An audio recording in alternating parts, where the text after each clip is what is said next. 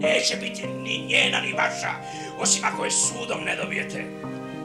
A vi, Aminski, vas molim, preporučam vam se da vi svoj sud izrečete po vašoj pravdi i čestitosti. Neka svatko od vas kaže.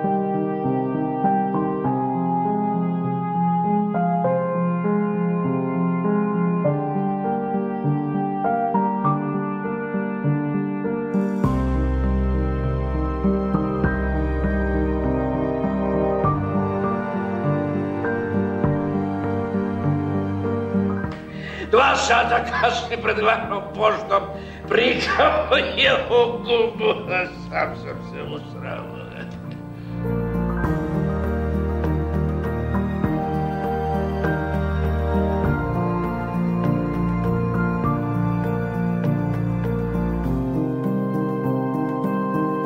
Glumu i glumca je teško definirati kao i čovjeka.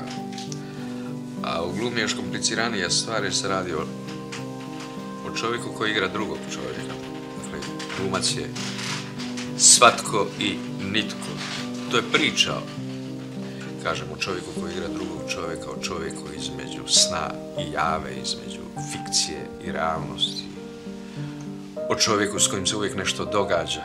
Glumac utjelovljuje to događanje i priču o tom događanju. Dakle, on unosi svoje tijelo, da tako kažem, u priču, u riječi i svojim tijelom oživljuje. A to tijelo je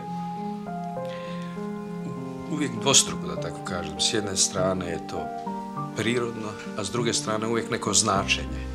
Tijelo je zatvoreno u sebe, a uvijek se pruža prema drugome, prema svijetu. Naprimjer, ja pružam ruku, to je prirodna gesta, a uvijek i nešto znači.